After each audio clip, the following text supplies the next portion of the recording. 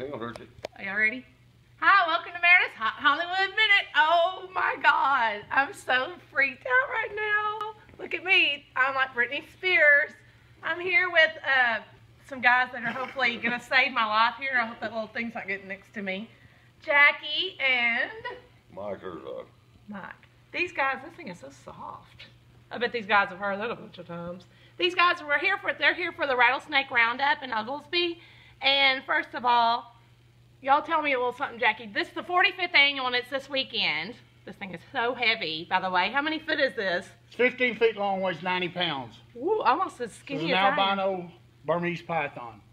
And uh, tell me about the Rattlesnake Roundup. We'll be out there this weekend buying rattlesnakes. We'll also be doing demonstrations, both educational and thrill-seeking shows.